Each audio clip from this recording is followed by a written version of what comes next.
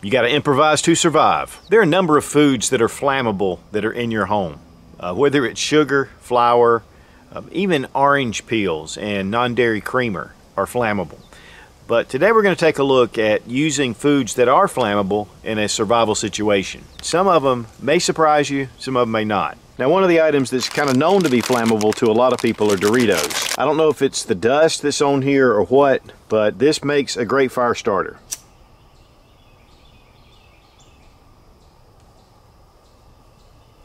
And I'll tell you what, this thing will burn.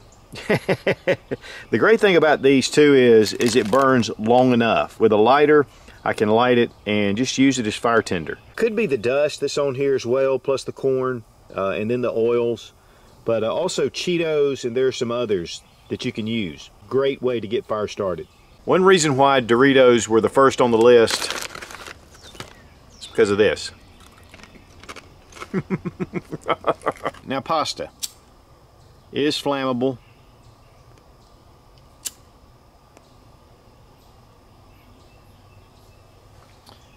And so here we have a small little match. We can just use it to get our fire going.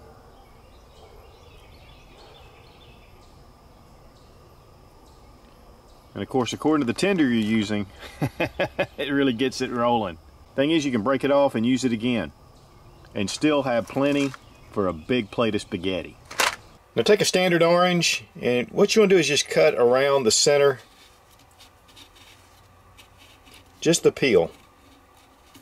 Then we're going to take and just peel off.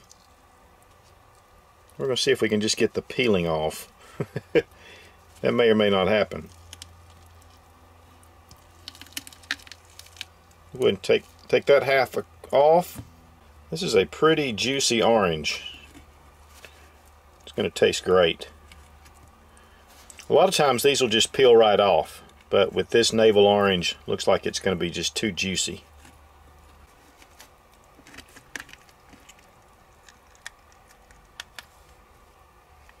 Now because this orange has been so juicy, I'm going to go ahead and just dry it up just a little bit. I'll tell you what, I ate this part. It was absolutely incredible. You want to make sure you leave this stem. That's an important part. Next we're going to take some cooking oil. This is just your standard vegetable oil.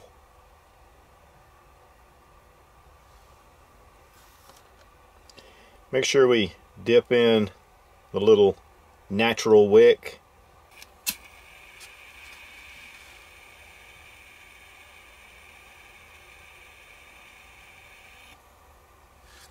So the oil should be an accelerant and making sure that it's on this wick itself. This will burn as long as you keep that little area filled and your wick doesn't burn down. Now we're going to eat the rest of this.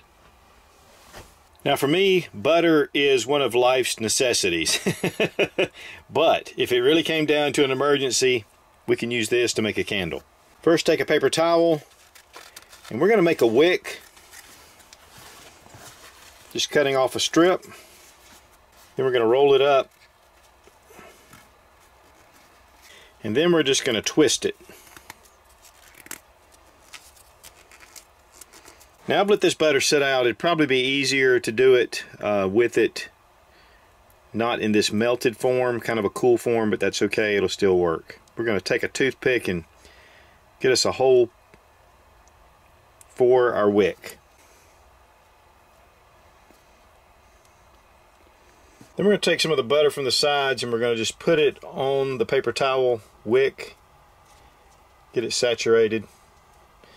The butter is going to be the accelerant and of course the paper towel is going to be the wick.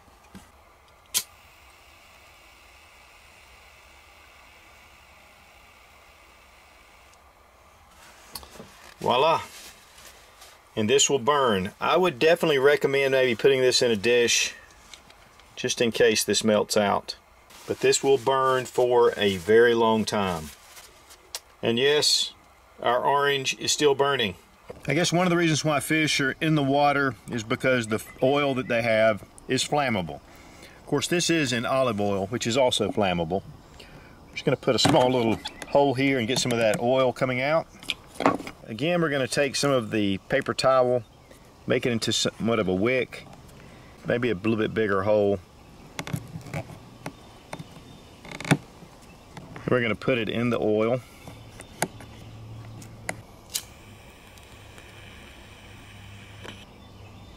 And we're going to light it and we have a candle. Now if you use regular fish oil it will also burn like this. In fact when I bought this I meant to buy just fish oil but the olive oil will also burn if you have a wick. This wick's going to draw the oil up through the paper towel. So guys, again, taking ordinary items and using them in survival situations. Uh, the flammable food is one of those things. Of course, you want to be able to eat, which should be the priority, but if you're really in a pinch, you'll have a backup. And guys, if you're serious about prepping and survival, check out Survival Dispatch Insider. It's one of the best resources on the web for the prepper. And I upload one exclusive video to the Insider every week. I'll have the link down below in the description. Be strong, be of good courage. God bless America. Long live the Republic.